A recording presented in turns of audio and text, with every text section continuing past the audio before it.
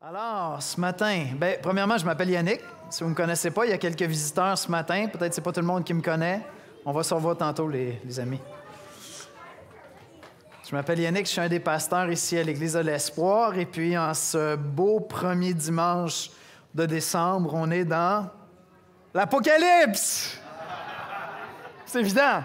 Chaque année, si vous venez l'année prochaine, on va être dans l'Apocalypse au mois de décembre. Non, c'est pas vrai. On est en train de compléter une série dans le livre de l'Apocalypse. Et euh, il nous reste deux dimanches, en fait, seulement. On achève un survol d'un livre qui est extraordinaire.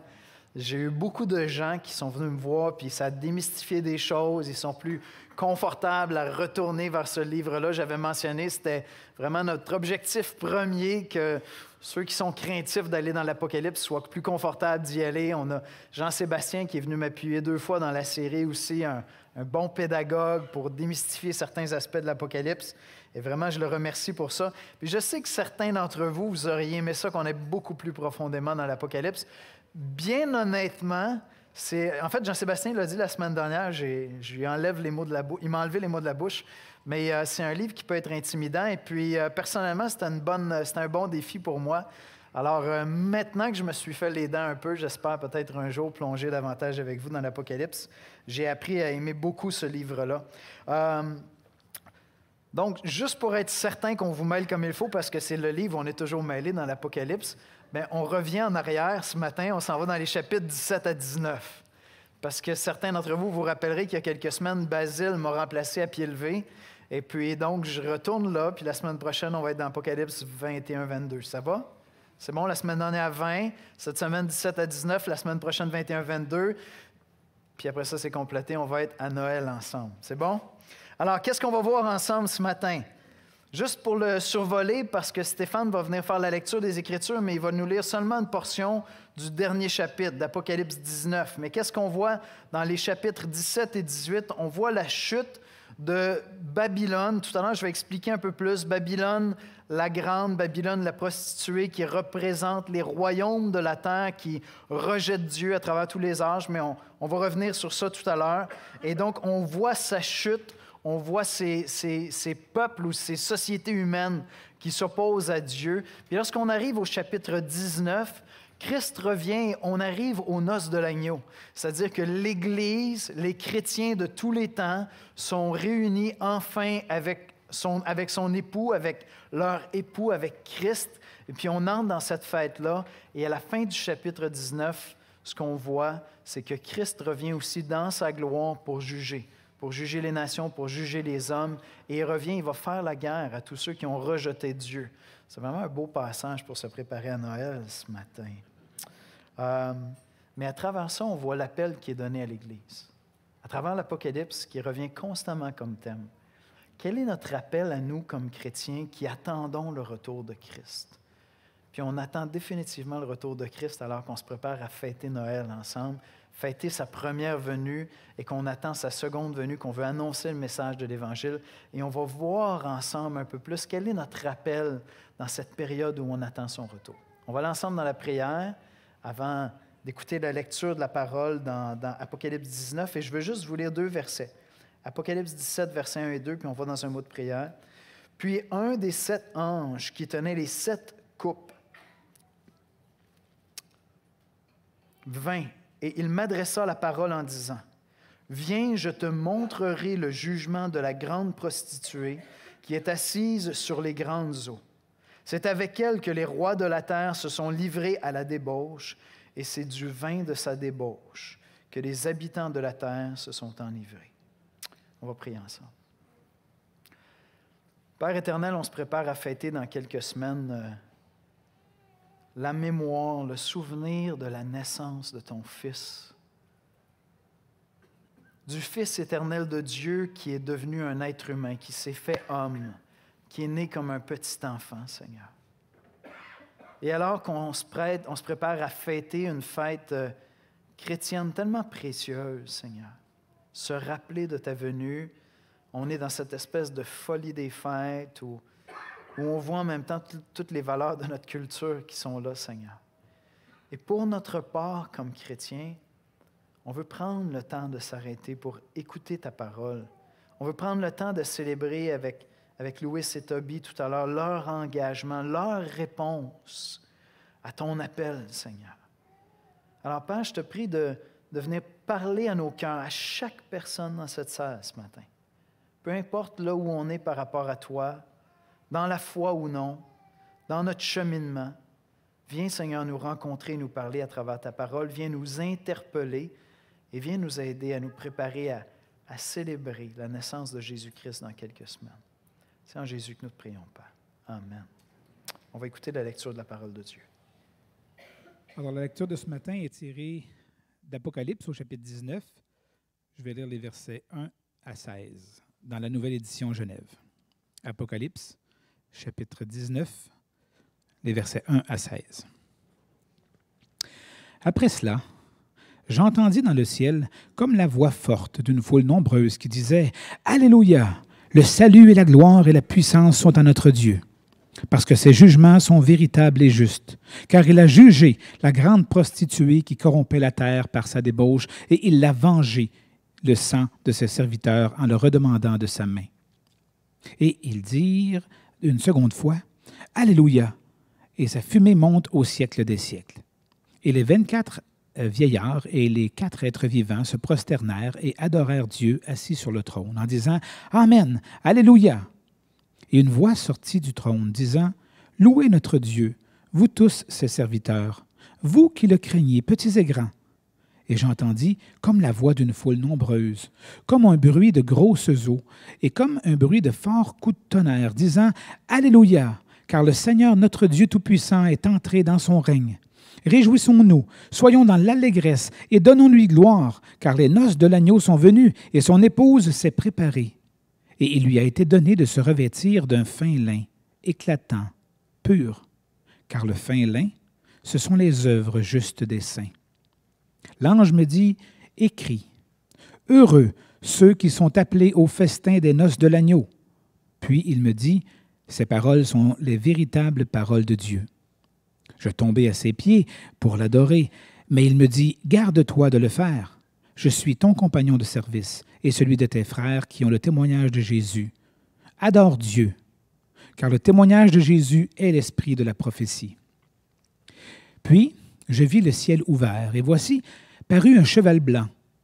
Celui qui le montait s'appelait fidèle et véritable, et il juge et combat avec justice. Ses yeux étaient comme une flamme de feu, sur sa tête étaient plusieurs diadèmes. Il avait un nom, écrit, que personne ne connaît, si ce n'est lui-même. Et il est revêtu, il était revêtu d'un vêtement teint de sang. Son nom est la parole de Dieu. Les armées qui sont dans le ciel le suivaient sur des chevaux blancs, revêtus d'un fin lin blanc, pur. De sa bouche sortait une épée aiguë pour frapper les nations. Il les pètera avec une verge de fer, et il foulera la cuve du vin de l'ardente colère du Dieu Tout-Puissant. Il avait sur son vêtement et sur sa cuisse un nom écrit Roi des rois et Seigneur des seigneurs. Merci Stéphane.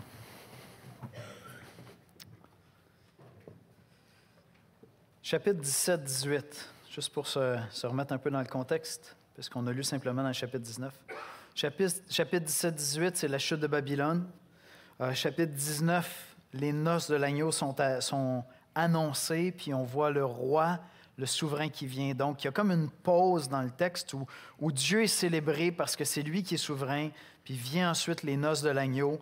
Christ va venir, et à la fin, on a cette révélation de Christ dans toute sa puissance. Il y a même une allusion au fait qu'il est non seulement le Fils de Dieu, mais qu'il est la parole de Dieu, qu'il est le Logos, celui qui a créé l'univers. On va revenir sur ça un petit peu plus loin. Et tout ce passage-là, je l'ai dit depuis le début du, livre de l'Apocalypse, le livre de l'Apocalypse nous est donné pour exciter notre foi. Pas premièrement pour exciter notre imagination, mais pour exciter notre foi, pour, pour nous appeler à persévérer, pour nous donner du discernement aussi nous donner du discernement alors que les chrétiens vivent depuis 2000 ans au milieu de différentes sociétés, différentes cultures. Des fois, les chrétiens sont bienvenus, souvent ils ne le sont pas. Et comment est-ce qu'on fait pour discerner à quoi nous, on est appelés à travers ça? L'Apocalypse nous est donné pour ça. C'est ça l'objectif. C'est un appel à persévérer en attendant le retour de Christ. Un appel à œuvrer pour sa gloire aussi. On va le voir explicitement dans le passage. L'Église est appelée à briller par ses œuvres. Et dans cette période sombre, elle est appelée à se préparer pour le retour de son Seigneur. Voici comment je, je résumerai l'exposé de ce matin, d'accord? Le jour des festivités des noces de l'agneau approche à grands pas, mais il sera précédé de la chute de tous les royaumes des hommes arrogants, et l'Église est appelée à se préparer. L'Église est appelée à se préparer aux noces de l'agneau. Apocalypse 17, versets 1 et 2. Puis un des sept anges, puis un des sept anges qui tenait cette coupe vint, il m'adressa la parole en disant, Viens, je te montrerai le jugement de la grande prostituée qui est assise sur les grandes eaux. C'est avec elle que les rois de la terre se sont livrés à la débauche, et c'est du vin de sa débauche que les habitants de la terre se sont enivrés. Si vous n'êtes pas familier avec l'Apocalypse, on va essayer de démystifier ça un peu. De quoi il est question ici ce matin? La chute de l'arrogante Babylone. On lit au verset 3 à 6, je vous lis ceci. Il me transporta, donc c'est l'apôtre Jean qui a une vision, il est transporté en esprit dans un désert et il voit une femme. Je vis une femme assise sur une bête écarlate pleine de noms de blasphème. Donc, elle maudit Dieu, elle, elle offense Dieu, ayant sept têtes et dix couronnes. Cette femme était vêtue de pourpre et d'écarlate et parée d'or, de pierres précieuses, de perles. Il y, a, il y a, une beauté intrinsèque, il y a quelque chose de, de majestueux malgré le fait qu'il y a les blasphèmes qui sont là. Elle est parée d'or, de pierres précieuses et de perles. Elle tenait dans sa main une coupe d'or remplie d'abominations et des impuretés de sa prostitution. Sur son front, été écrit un nom, un mystère. Babylone la grande, la mère des prostituées et des abominations de la terre. Et je vis une femme ivre du sang des saints et du sang des témoins de Jésus. C'est euh, une scène de débauche. Il y a quelque chose de grandiose, mais il y a quelque chose d'horrible. C'est comme si dans sa coupe, dans toute cette débauche-là, qu'il y a aussi tous les chrétiens martyrs à travers les âges, tous les chrétiens persécutés. elle est en train de fêter cette persécution-là. C'est un peu ça qui est dépeint ici dans cette scène-ci. Je vis cette femme ivre du sang des saints et du sang des témoins de Jésus, et en la voyant, je fus saisi d'un grand étonnement. Qui est cette prostituée, cette grande Babylone qui apparaît ici? Qui est cette, cette femme qui, euh, qui célèbre la destruction des, des croyants? Des témoins de Jésus, de ceux qui rendent témoignage de, Jésus. C'est ça qu'on fait quand on annonce l'Évangile? Quand j'annonce l'Évangile, je suis un témoin de Jésus-Christ. Vous êtes tous des témoins de Jésus-Christ si vous êtes chrétiens. Cette femme-là est ivre du sang des témoins de Jésus-Christ. Qui est cette, cette femme, cette grande prostituée? C'est premièrement Rome. D'accord? Si je veux être concret, on l'a dit à travers la série dans l'Apocalypse, l'Apocalypse possède des images qui, euh, qui viennent s'inscrire dans le temps, dans l'histoire des hommes, mais qui souvent, même s'il y a une première allusion dans le temps clair, concrète. Alors dans ce cas-là, la ville de Rome, au chapitre 17, verset 9, il est question des sept montagnes sur lesquelles était établie Rome, d'accord? Et donc, pour l'apôtre Jean, quand lui pense, quand lui envisage, qu'est-ce que c'est Babylone? C'est qui le royaume d'hommes qui s'oppose à Dieu? C'est Rome. Et donc, Babylone, pour Jean, c'est Rome qui est remplie d'arrogance, imbue d'elle-même, sans Dieu, qui prétend ne pas avoir besoin de Dieu, qui persécute des chrétiens, qui, rejette Christ, qui rejette le Christ de Dieu, le messager de Dieu. Et donc, pour Jean, Babylone, c'est Rome premièrement qui s'est enorgueilli de sa puissance et qui va bientôt tomber. Et comme on l'a dit à travers toute la série dans l'Apocalypse, souvent ces images-là qui s'inscrivent dans l'histoire sont des espèces de types de tout ce qui va être semblable à travers l'histoire des hommes. Et donc, cette Babylone pour Jean, c'est aussi Babylone, c'est tous les royaumes d'hommes à travers l'histoire de l'humanité jusqu'au retour de Christ qui vont s'opposer à Dieu, qui vont rejeter Dieu. Et donc, on pourrait aujourd'hui chercher à identifier des grandes sociétés, des cultures qui rejettent Dieu et particulièrement Dieu tel qu'il s'est révélé à travers son Fils Jésus-Christ, à travers son Christ. C'est un type, c'est une image qui parle de tous ces royaumes-là qui sont remplis d'arrogance et qui rejettent Dieu. Et, je veux juste faire un commentaire avant d'aller un petit peu plus loin sur cette question-là, puis, parler de, de, quoi il est question, cette arrogance-là, de quoi on parle ici. Euh, je veux juste faire un commentaire. Souvent, les gens découvrent la Bible, la Bible puis ils ont l'impression que la Bible est misogyne. C'est-à-dire que la Bible rejette la femme, méprise la femme. Dans l'Apocalypse, il y a deux femmes importantes qui sont présentes tout au long de l'Apocalypse. Il y a cette femme, c'est-à-dire tous ces royaumes qui rejettent Dieu sont représentés par une femme qui, est impressionnante, qui est séduisante, qui, a quelque chose de grandiose, et représente l'incarnation du mal pratiquement. Mais quelle est l'autre femme qui est là dans toute l'Apocalypse? C'est l'épouse. C'est l'épouse, c'est l'Église qui est là, qui est présente. Et on a le récit à travers l'Apocalypse de deux femmes. Une qui représente le rejet de Dieu et une autre qui représente la pureté, la recherche de Dieu, le fait de se mettre à part, qui va être là dans toute sa beauté. La femme, dans tous les cas, dans l'Apocalypse, représente la beauté. C'est vraiment fascinant. Et ces deux femmes-là ont deux coupes. Une boit une coupe de débauche, une autre offre une coupe qui, qui est remplie des prières des saints, qui sont de l'adoration qui vont être élevées à Dieu. C'est vraiment intéressant les parallèles. Donc, c'est pas, c'est une mauvaise lecture de voir ça comme ça. On pourrait faire les mêmes parallèles avec le côté masculin qui est, qui est représenté à la fois par Dieu puis à la fois par le mal, à la fois par le Christ puis à la fois par le diable, d'accord? Et donc, il y a plus de nuances qu'on pense. Et, ce que nous aspirons à reconnaître comme Église, c'est que nous sommes l'épouse de Christ. Amen? Amen. Amen.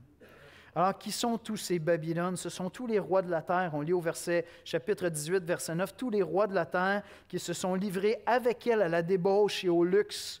Et ils pleureront, se lamenteront. En somme, c'est chaque fois que les hommes quittent comme une, leur individualité dans leur rébellion envers Dieu, puis se constituent dans une culture, une société qui rejette Dieu, puis qui s'enorgueillit de pouvoir se réaliser sans Dieu, détaché de Dieu. Babylone, c'est Babel dans l'Ancien Testament qui voulait atteindre le ciel puis être indépendant de Dieu. Et donc, dans un sens, ça représente tous les royaumes des hommes qui, qui rejettent Dieu. Ce sont des sociétés qui fondamentalement rejettent Dieu et particulièrement rejettent Dieu qui se révèle à travers son Christ Jésus-Christ. Et il y a un orgueil qui vient avec cela.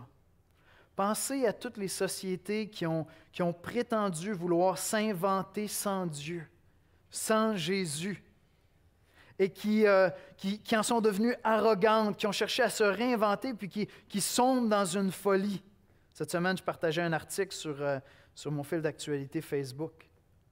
Au Canada, semblerait-il qu'en 2011 puis 2016, dans les hôpitaux canadiens, il s'est pratiqué 600 000 avortements. 600 000 avortements. C'est comme, comme une folie. Canada est en train de, vieillir, puis là, on dit, OK, on va, on l'immigration. Amen. Amen. Pendant ce temps-là, on va tuer nos enfants.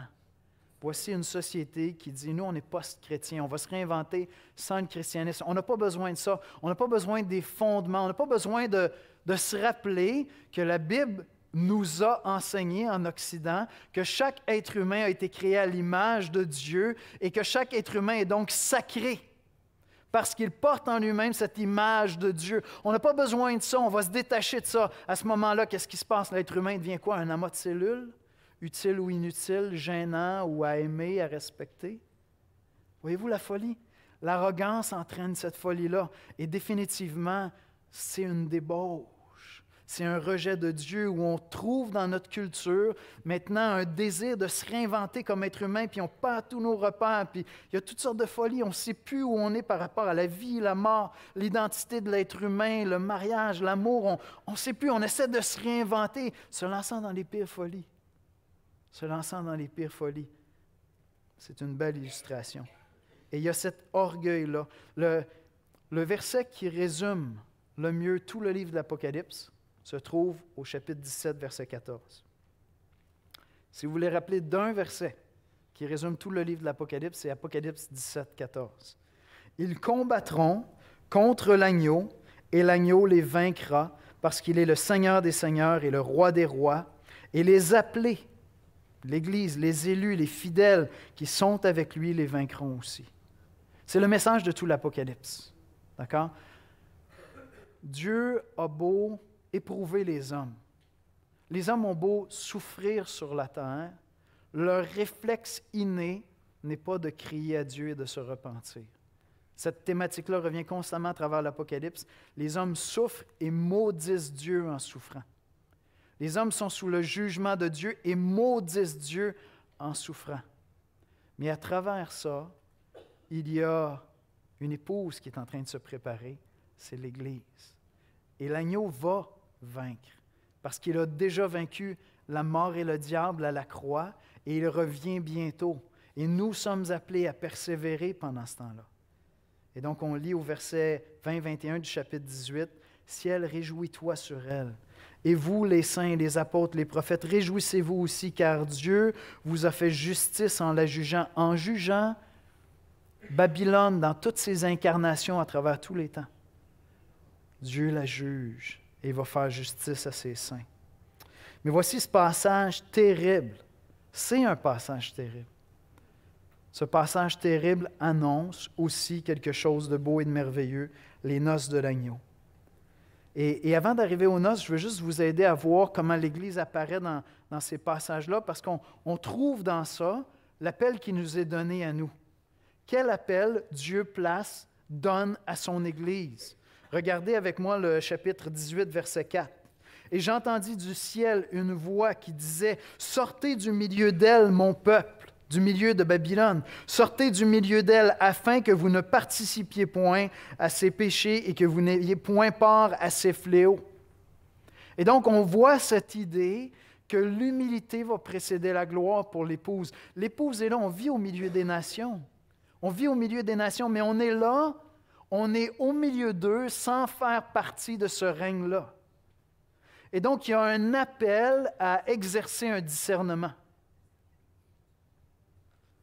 L'Église a répondu de différentes manières à travers les siècles, puis une des réponses que l'Église a, a pensé bonne, c'était de créer des monastères, puis d'aller se cacher dans des monastères. Puis il ne faut pas penser que les monastères, c'était juste des, huis clos qui n'étaient pas en relation. Non, c'était comme une, l'idée, c'était comme une communauté chrétienne qui vivait vraiment ensemble à tous les jours, mais qui avait un impact autour d'elle. D'accord? Ces, gens-là voulaient vraiment vivre une vie selon des principes de la parole. Il y avait une idée qui était, bien là, mais en même temps, ça, occasionnait un repli. Ça devenait comme, la forteresse des, sauvés qui sont détachés.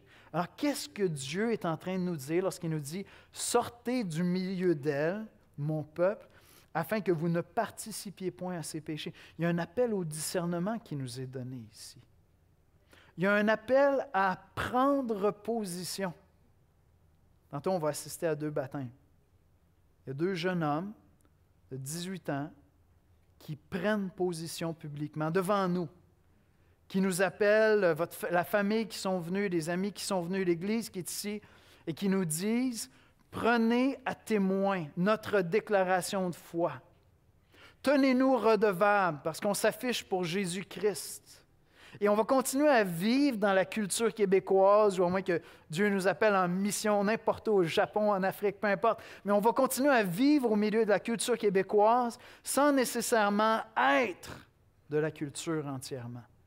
En cherchant à exercer un discernement, célébrant ce qui est bon dans la culture mais rejetant ce qui relève de cette arrogance envers Dieu, ce qui refuse d'être éclairé par la parole de Dieu. Et donc la fiancée va se préparer, c'est ça qu'on lit au chapitre 19, verset 7-8. Réjouissons-nous, soyons dans l'allégresse, donnons-lui gloire, car les noces de l'agneau sont venues. Son épouse s'est préparée. Qu'est-ce qu'elle fait, l'Église, en attendant le retour de Christ? Elle s'en va dans un monastère, puis elle dit, Oh, reviens Seigneur, on va être exterminés. On va mourir. Oui, peut-être. Peut-être. Peut-être tu vas mourir, c'est possible. Il y en a. Toutes les semaines, il y a des chrétiens qui meurent à cause de l'Évangile. C'est possible, effectivement. Elle était ivre du sang des saints, des témoins de Jésus-Christ. Définitivement, c'est possible. Mais qu'est-ce qu'elle fait, l'Église, en attendant le retour de Christ? Elle se prépare pour les noces. Ah, mon épouse a tellement fait de choses dans les mois qui ont précédé notre mariage, a tellement mis d'énergie. Quand on suit des gens dans des, cours de préparation au mariage, on leur dit commencez assez tôt parce que les six derniers mois, il n'y a plus de vie. Tu oublies ça. C'est comme tout ce que tu fais, c'est que tu prépares ta noce. Il n'y a plus, d'agenda, il n'y a plus de temps pour vous cajoler, vous regarder dans les yeux, puis euh, prendre du temps pour apprendre sur la vie de couple. Tout ce que vous faites, c'est que vous préparez, vous préparez, vous préparez pour la noce. L'Église actuellement est en train de se faire belle. Amen. L'Église actuellement est en train de se faire belle. Elle est en train de se préparer pour la noce. Puis on l'a ici, c'est quoi la préparation? Son épouse s'est préparée et il lui a été donné de se revêtir. Elle prépare son vêtement de fin lin, éclatant et pur, car le fin lin, ce sont les œuvres des justes, les œuvres justes des saints. Voyez-vous, Christ sauve son Église par grâce.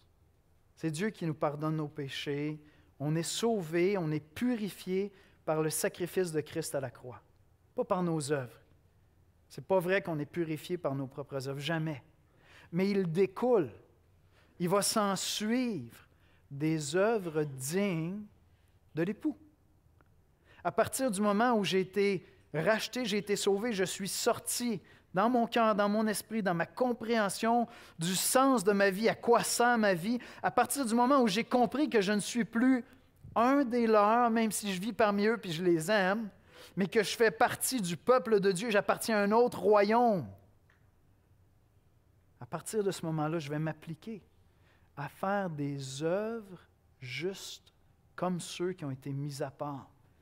Et si vous dites, ouais, mais c'est quoi les œuvres justes? De quoi il est question? C'est, quoi ces œuvres-là auxquelles on est appelé? Allez lire cette semaine le Sermon sur la montagne, Matthieu 5, 6.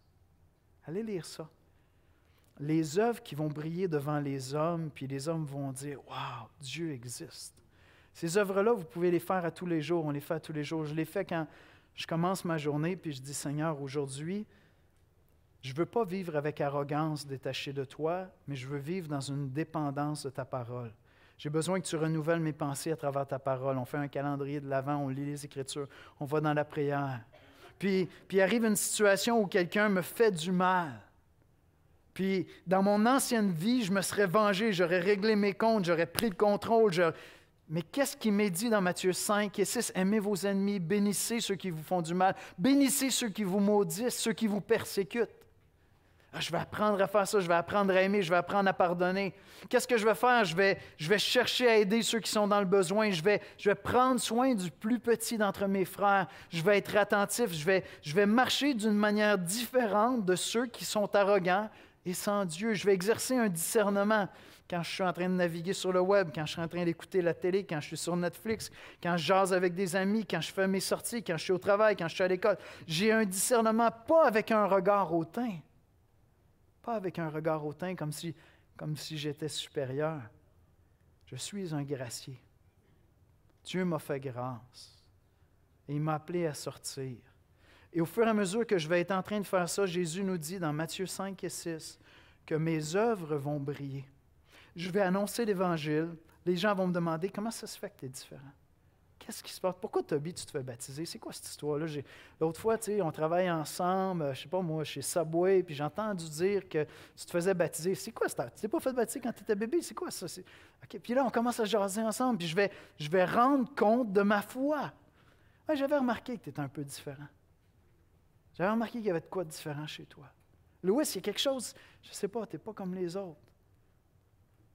On est tous différents, on est tous originaux à notre manière, mais il y a une originalité qui vient de ces œuvres justes des saints. Pas parce qu'on est parfait, parce que Dieu nous a fait grâce et nous a appelés.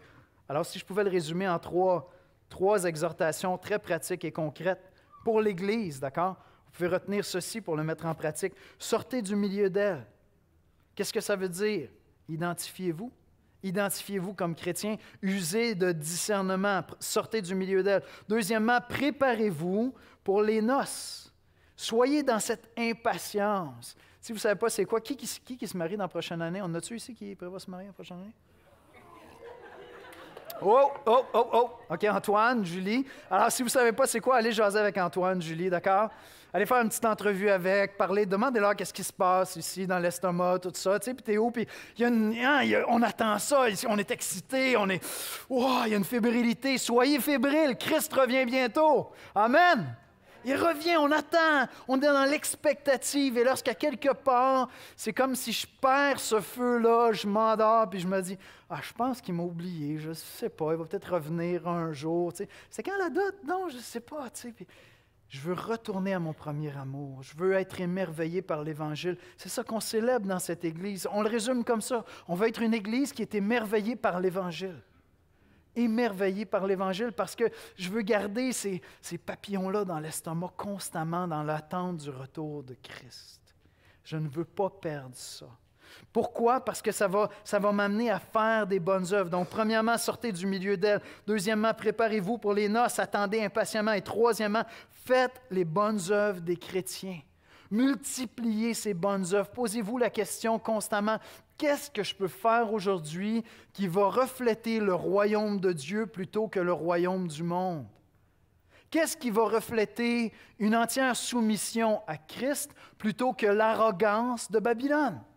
Qu'est-ce qui va être différent aujourd'hui au travail, dans mon attitude, à la maison, dans mon cœur, dans mes pensées, tout le temps? Et multipliez-les, je suis en train de préparer. Sortez du milieu d'elle, usez de discernement, affichez-vous, préparez-vous pour les noces, gardez ce premier amour, ces papillons dans l'estomac où j'attends le retour de Christ. Et troisièmement, faites des bonnes œuvres des chrétiens, multipliez ces bonnes œuvres, annoncez l'Évangile à travers ça. L'Apocalypse, c'est un livre apocalyptique. Non, mais c'est un livre catastrophique. C'est une catastrophe, cette affaire-là. Mais c'est un avertissement. Vous savez quoi, l'Apocalypse n'est pas entièrement accompli encore? On n'est pas tout à fait, on n'est pas dans un bunker ici, là, ça va? Oui, on n'a pas nos masques à gaz, puis Jésus n'est pas revenu non plus. L'Apocalypse n'est pas entièrement réalisé. Et donc, notre rôle à nous, c'est de faire quoi? C'est d'annoncer l'Apocalypse. Bon, donnez pas de date, s'il vous plaît. Écoutez, Jean-Sébastien il été sage. Écrivez pas de livre avec des dates, c'est vraiment pas sage. Mais annoncez que Jésus revient bientôt. Et faites-le premièrement en, annonçant l'évangile de Jésus-Christ et deuxièmement en portant ce fruit-là dans votre vie des œuvres justes des saints. Et je termine avec ceci, le retour du roi. À la toute fin, à la toute fin de l'Apocalypse, on a le retour du roi. C'est intéressant, vous savez que j'aime le Seigneur des Anneaux, de temps en temps je fais des petites allusions. Pour moi, il y a deux. On pourra débattre après, si vous voulez, autour d'un bon cappuccino. Pour moi, il y a deux, deux figures de Christ dans le, le Seigneur des Anneaux. On a Aragorn, qui est le roi qui revient puis qui va prendre son royaume. Puis on a Gandalf le gris qui devient Gandalf le blanc, qui est monté sur son cheval. Et c'est ça que j'ai lorsque j'arrive dans Apocalypse 19. J'ai le retour du roi qui vient dans toute sa gloire. Et Christ est beau, il est splendide, il est puissant, il est grand, il est glorieux. Regardez ce que, ce que le passage nous dit, Apocalypse 19, 11 et 12. Puis je vis le ciel ouvert, et voici parut un cheval blanc. Celui qui le montait s'appelle fidèle et véritable. Il est plus grand que nature, il est grand comme Dieu. Si votre vision de Jésus, ce n'est pas Dieu le Fils, si vous n'avez pas saisi la divinité de Christ, vous n'avez pas lu l'Apocalypse attentivement. Son nom est fidèle et véritable. Il juge et combat avec justice. Ses yeux étaient comme une flamme de feu. Sur sa tête étaient plusieurs diadèmes. Il avait un nom écrit que personne ne connaît si ce n'est lui-même. Verset 13, et il était revêtu d'un vêtement teint de sang. Son nom est la parole de Dieu. C'est Jean 1, 1, c'est Jean 1, 14. Au commencement, la parole était avec Dieu et la parole était Dieu. Voyez-vous, c'est par Dieu le Fils que Dieu a créé toutes choses. Dieu le Père a créé toutes choses par Dieu le Fils. Et c'est par Dieu le Fils que le Père va recréer toutes choses. Et nous, ce qu'on attend, c'est son retour. On attend cette noce-là. Je vais inviter les musiciens à venir me rejoindre à l'avant. On attend cette noce-là. Et on doit garder des, passages comme Apocalypse 17, verset 14. Constamment dans nos cœurs, dans nos pensées. Apocalypse 17, 14, ils combattront contre l'agneau. On est là. On est là, on vit dans une société qui se dit post-chrétienne, qui essaie de se réinventer sans le christianisme. Mais n'allez pas penser que c'est la place la plus difficile au monde à vivre. On est encore dans la culture où ça coûte le moins cher de s'afficher pour Christ. Sérieusement, là, je comprends que si tu t'affiches, ça se peut que tu reçoives un peu de bêtises. Ailleurs, tu recevrais un peu de cailloux puis ailleurs, tu recevrais un peu de prison, puis ailleurs, tu recevrais une balle entre les deux yeux. D'accord? Donc, on est encore dans la culture où c'est le plus facile de s'afficher pour Christ. Mais c'est vrai, c'est la réalité. Notre culture pense qu'elle est capable de se réinventer sans le fondement de l'Occident qui est la, vision judéo-chrétienne de l'être humain. On ne sait pas où ça va mener. Des fois, ça fait peur. Tu dis, mais mais ça va, ça va arrêter où, cette affaire-là? On est juste un amas de molécules, on, est juste la matière, c'est tout ce qu'on est. On est n'y a plus personne, il n'y a plus rien de sacré. Tout, tout ce qui est sacré, c'est le plaisir de vivre. Puis quand c'est parti, la vie ne représente plus rien. Puis là, il y a comme, c'est effrayant. Apocalypse 17, 14. Ils combattront contre l'agneau et l'agneau les vaincra. Parce qu'il est le Seigneur des seigneurs et le roi des rois et les appelés, les élus et les fidèles qui sont avec lui les vaincront aussi. Et si tu dis, écoute, ça n'a aucun bon sens, là, je veux juste te partager, je suis allé dans une église dimanche, c'est vraiment une gang de malades mentales. Ils se préparent à fêter Noël avec un petit bébé Jésus dans une crèche, puis là, ils nous parlent de l'Apocalypse. Tu sais. C'est comme, ils ont un problème de séquence. Tu sais. Peut-être que c'est le livre qui peut révolutionner ta vie dans les prochaines semaines prendre le temps de lire l'Apocalypse. Parce que si tu veux arriver aux, festivités qu'il y a à la fin de l'Apocalypse, il va falloir que tu traverses tout le reste. Et qu'à travers ça, tu puisses saisir la puissance et la beauté de Christ. Et si, comme Toby et Louis, tu as déjà fait ce choix-là, tu as entendu la voix de Christ et tu as décidé d'être son disciple, fais comme eux. Affiche-toi. Prends position, sors du milieu d'elle. Affiche-toi comme chrétien. Sors du milieu d'elle, use de discernement pour dire voici le bon, voici le mauvais, voici ce que je peux célébrer dans la culture québécoise, voici ce que je peux racheter dans la culture québécoise, voici ce que je dois rejeter de la culture parce que c'est de l'arrogance, c'est contre Dieu, je ne peux rien faire pour construire sur cette base-là. Mais deuxièmement, sois impatient, prépare-toi constamment, cultive ce premier amour que, qu'on avait tous au début de notre vie chrétienne. Amen.